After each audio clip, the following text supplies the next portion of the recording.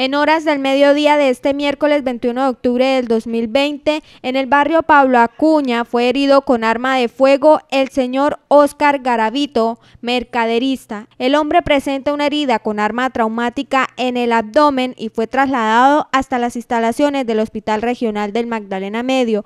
Según información recibida, el hombre fue abordado por dos sujetos con arma de fuego, los cuales intentaron hurtarlo. En el forcejeo los delincuentes le causan la herida y huyen en una motocicleta.